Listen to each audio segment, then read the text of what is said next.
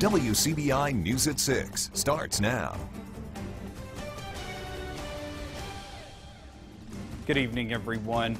A man is in custody tonight after a brazened armed robbery near two Columbus daycares. The holdup happened on Burns Circle just after 1245 this afternoon. Columbus police say the victim was robbed and that a gun was used in the crime. Police Chief Fred Shelton would not confirm what type of gun. He also would not say whether the holdup happened on a daycare property or on the street. Investigators have recovered a weapon. The unidentified man is expected to be officially charged tomorrow. No injuries were reported. A Columbus home is destroyed after a morning fire. Columbus Fire Department Public Information Officer Anthony Colon says two men were passing by a home on 4th Avenue North this morning when they noticed the flames. No one was at home at the time. Colon says it took firefighters about 30 minutes to put out the blaze. The cause of the fire is still under investigation. We have an update tonight on a domestic violence incident near Caledonia. 40-year-old Alicia Prather and 44-year-old Gregory Prather are both charged with domestic violence and aggravated assault. Lowndes County deputies were called to a home on Hunnell Mill Road about 7.30 last night. On the way there, deputies learned the caller was being shot at by his wife. When law enforcement arrived, they say Alicia Prather ran back into the home and refused to come out. After nearly an hour, she finally surrendered. Officers learned both suspects had assaulted each other during an argument over their son. A weapon was also recovered at the scene. Time now to turn things over to Chief Meteorologist Keith Gibson. He joins us with a first look at our forecast. Keith? Hey, Joey, a live view with our Alfa Insurance Camera Network in Columbus, Tupelo, Vernon, and Louisville shows a lot of sunshine, some friendly clouds out there. No major problems for this evening. It's still warm. You know it. It's been warm all week long, upper 80s, low 90s right now. We do have some showers and storms back to the west. Now, it looks like these will be weakening before they get here, so we're warm on ahead of it much cooler behind the system coming our way, but we're really not going to see a lot of cooling, and we really won't see a lot of that going forward. But there is a chance for a little bit of rain tomorrow as we get into our Thursday. Uh, 70s to start out, back up to around 90. Joey, your full forecast coming up.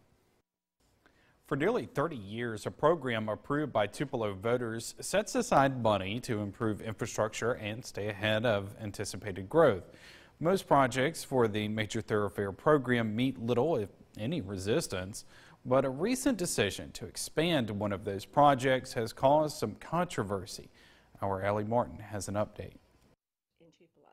I feel really badly about even uh, complaining or addressing any of this because I've always been such a proponent of anything the city wants to do. But Doyce Dees believes it is not in the city's best interest to expand a project of the major thoroughfare program. In 2016, voters approved phase six of that program. One project included construction of a center turning lane on West Jackson Street between Clayton Avenue and Robin Street. Last year, Mayor Jason Shelton asked the Major Thoroughfare Committee to expand that project to include an extra block between Robbins and Madison Streets. Dees and other residents of nearby Highland Circle, the oldest planned subdivision in Tupelo, have voiced their opposition. In cities that I have been in where they've gone through neighborhoods and put in three lanes or even more, you immediately see a deterioration particularly in the homes along the uh, the thoroughfare. And I, I just think it's a it's a bad idea. Improvements would also mean sidewalks and underground utilities. The price tag for the work from Clayton to Robbins is $6 million. Adding that extra block would boost the total to nearly $9 million. You know, people typically love progress but hate change. And anytime you have uh, you know, proposed change literally in your backyard, uh, that can cause uh, some concern, and I totally understand that. Everyone agrees expanding the project from Robbins to Madison would be expensive, but future major thoroughfare plans could call for work on East Jackson all the way down to Front Street. Proponents say delaying the work now would cost more down the road. The cost would be substantially more, especially this underground piece. That's what we have been trying to discuss. Is it in the best interest of the citizens of Tupelo Uh, and how does that weigh against the neighborhoods? Is there a detriment to the neighborhoods? How do we make that determination? How can we say if this hurts the neighborhood, which we have not seen so far that we believe it would hurt the neighborhood? Perkel and other members of the Major Thoroughfare Committee will make a decision on the Jackson Street project during a special meeting Thursday evening. In Tupelo, Alley Martin, WCBI News. The major thoroughfare program sets aside a 10 million or 10 mil rather tax to fund infrastructure projects. The program is approved by voters every five years. Well, preparations start today for tomorrow's referendum and special election in Starkville. Voting machines were taken to voting precincts and set up late this afternoon. Starkville residents will vote on a 1% restaurant and hotel tax for a new sportsplex and improvements at other parks. Some will also cast a ballot in the Ward 5 special election. There are a few things voters need to know before going to the polls. They need to come with a voter ID, photo ID. Uh, they need to know where they're going to vote, and that depends on where they live. They vote in the precinct where they live. If they do not know, they can call the city clerk's office. Polls are open from 7 a.m. to 7 p.m. tomorrow. Columbus Air Force Base is temporarily moving a portion of its training to Golden Triangle Regional Airport. More than two dozen T-1 Jayhawk trainer aircraft rather, are operating out of GTR while one of the three runways at the Air Force Base is closed for construction. GTR Executive Director Mike Hainsey says the temporary move will help the base keep its pilot training on schedule. The Air Force flights are at, at GTR will continue through November. Hainsey says the extra flight should not have any major impact on the operations at the airport. A fourth round trip flight to Atlanta. It will start next week. Hainsey says 95% of the flights this month have been full. With the additional flight, the airport expects more than 100,000 passengers this year. Hainsey gave that up today, update today at the Kiwanis Club. The airport is also making improvements to accommodate more customers. Yeah, with the uh, constructions going on right now, we, we're just wrapping up a $1.8 million uh, terminal expansion. Uh, we're extending, uh, expanding some parking lots uh, for the additional flight that starts in June. The expansion will allow for 200 extra seats in the terminal. Hainsey says the fourth flight begins June 8th. In real estate, location is everything, and you may be surprised at where some of those prime locations are. We take a look when we come back. Welcome back, everyone. Buying a home can be a nerve-wracking experience, from choosing a loan to qualifying and even getting an inspection. Our Riley Livingston takes a look at how the area housing market is faring. She joins us live in Columbus. Riley? Buying a house can be a numbers game. Selling price, interest rates, they all add up. But what you might be surprised is that those numbers might actually be, your, be in your favor in this area. A recent study says North Mississippi is a good area for getting a home loan. Smart Asset ranks Lowndes, Oktibbeha, Lee, and Tishomingo counties in its top 10 for securing a mortgage in Mississippi. JTS and Company President Jeff Farnham has been in the mortgage business for over 20 years and knows what drives the market. The demand for housing is really up. We're seeing mortgage rates continue to remain in very low territory, so that's increased, you know, really continues to get people to want to buy and those kind of things. Industrial development and better paying jobs have helped keep homes moving. And Farnham says in this area you can get more bang for your buck. You can live relatively inexpensively compared to other places in the world. You know, you take a 1,500 square foot home in, in Lowndes County, Mississippi, and it's 150,000, maybe 135,000 dollar home. You take that same home out in California, maybe five, six hundred thousand dollars, depending on the market you're in. So our cost of living, everything's a little bit cheaper here. Doris Hardy says last year the housing market was the best she's seen in years. I, in my opinion, that 2018 was so good uh, here is, um, you know, we had gone through four, four and a half brutal years during the recession. And the recovery was very slow, which is really the way we like recoveries, a slow, steady annual uptick. And so it just sort of culminated into people thinking, okay, we're on the right track. But that success can be a double edged sword. We are down with listings and we are down with sales.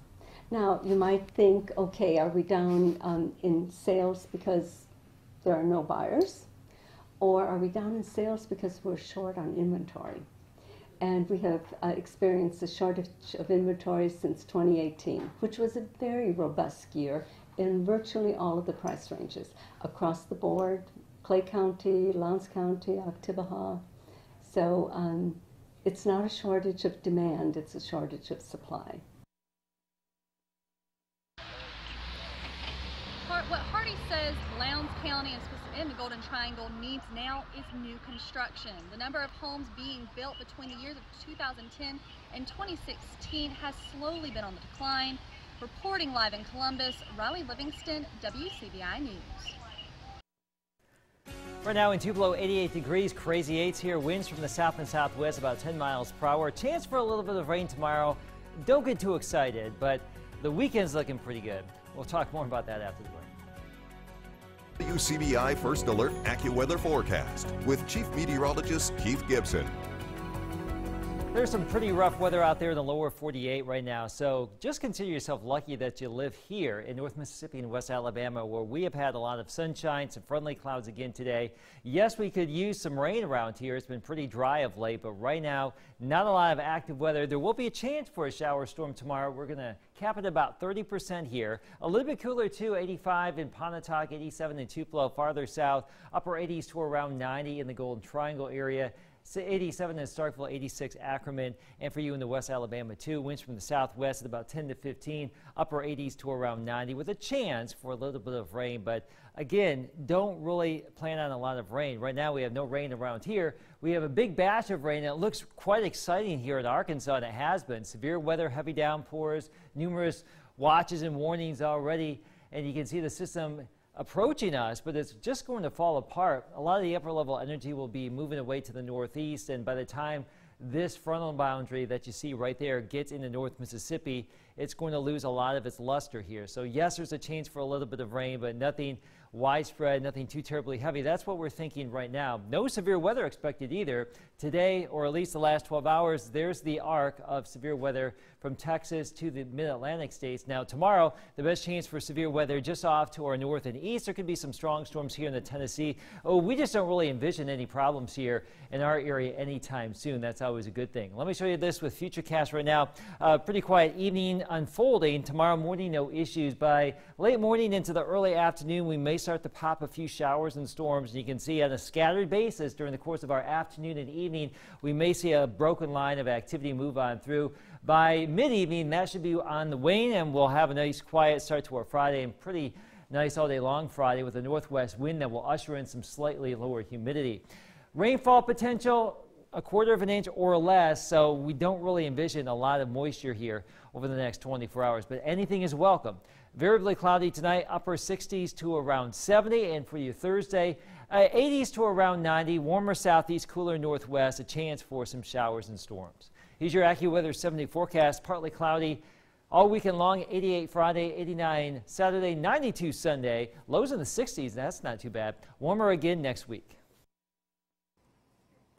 The Bulldogs could be getting one of its biggest bats back just in time for tournament play. More on the possible return of the MAC next in sports. WCBI Sports with Tom Ebel is brought to you by your local Ford dealers. Go further. Mississippi State's offense fizzled in the SEC tournament, but a key member of the lineup is hoping to return just in time for postseason play. Head coach Chris Lemonis says Elijah MacNamee will begin swinging the bat in preps for the regional and hopes to know more on MacNamee's status by Thursday. MacNamee has missed time since May 12th after aggravating a foot injury against Ole Miss. The Diamond Dogs know Mac brings the clutch gene when the postseason rolls around. He's very eager, you know. It's a big bat in the middle of the lineup, lineup that we need. You know, everybody saw what he could do last year in, in uh, postseason play. So obviously, getting him back is going to help us a lot, and we're all ready for him. He's a great player. You know, he's a great player, and he's got the clutch gene. Um, and that's all it is. So we're looking forward to him. He's going to perform in the clutch, and he's going to perform day to day. So uh, we're excited for the chance to have him back in the lineup and a leader in our team and our locker room. I'm just really excited that he's getting healthy. He's, he's not going to miss this. So um, he'll, he'll be all right. Uh, I hope he's out there for us this weekend, but we'll, we'll see how it goes. You know, uh, you know, the body's a crazy thing. Uh, I don't know where he's at. I haven't really talked to him about it, but um, I, I know he's going to do everything he can out there. Reaching its first super regional since 2014 is the main goal this weekend, but it's also about redemption. The Rebels will look to avenge last year's upset a year ago at home to Tennessee Tech, a season where the number four national seed fell short on the regional's final day. The starting lineup is full of guys that experienced the disappointment, but the mood in the locker room this year is new year, new result. Uh, you know, a little bit. We have some guys back from last year, and uh, obviously we want to put on a good show for the hometown crowd. Uh, but you know, it'll it'll motivate some of the older guys that played a lot last year. Um, you know, to not end that way again. But you know, it's a, it's a new season. Um, and we're just going to have to take it step by step and uh, you know play those games one at a time. Every year you get a different club. You know, every year, even with a lot of returners, they're different. You know, they're they're older, they're wiser. Hopefully, they're better players. Um, but but I know it does drive some people, and I'm sure it drives a lot of those guys in the locker room, and uh, a lot of them, you know, might be their last you know time at this, and and so uh, I know that they've mentioned that you know they they want to leave their mark. Everybody wants to leave their mark here. Softball America releasing its first ever All-American teams today. On the on the softball side, Ole Miss head coach Mike Smith was named second team head coach after leading Ole Miss to its second ever Super Regional. The Rebels outfielder Kylan Becker named to the first team, as well as Mississippi State catcher Mia Davidson. The Bulldogs' Fa Leilua named second team All-American as well. Ole Miss assistant coaches Ruben Felix, Ashley Chastain, and Katie Reeves also recognized. That's it for sports. A last look your weather is next. Pretty nice weather out there on our Wednesday evening. Is this Wednesday or Tuesday? Yes, Tuesday? It is. Wednesday. Okay, all these days are blending. Don't go together. backwards. Uh, no, we gotta go forward. Tomorrow, Thursday, uh, quiet start. A chance for some uh, scattered showers and storms. Just a 30% chance for some rain tomorrow. That's our best chance in the near term. If you don't get rain tomorrow, we will be dry probably through the weekend, through early next week. A little bit cooler, a little bit less humid, but in general warm for the next seven. We'll take that. Uh, less humid. Uh, for a couple of days there, lows getting back down into the 60s, but uh, you know we're getting into summer now, and you know it is what it is. Yeah, That is true, Mhm. but uh, yeah, definitely if you can get under some rain tomorrow, that would be good. Yep. All right, thanks for joining us, everyone. Have